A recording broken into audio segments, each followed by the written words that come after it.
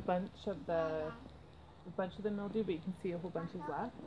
So I'm just going to use my outdoor glove and get it wet.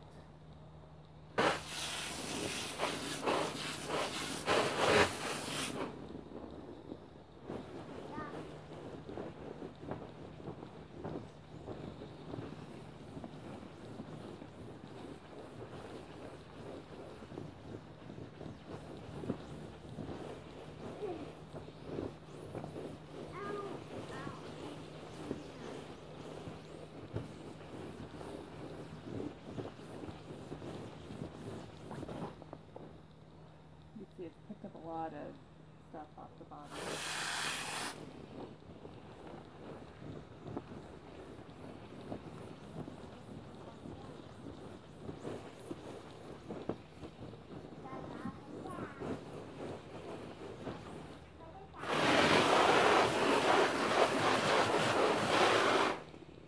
So much cleaner with just a quick wipe and um, I'll just do the whole pool. It shouldn't take me long at all. And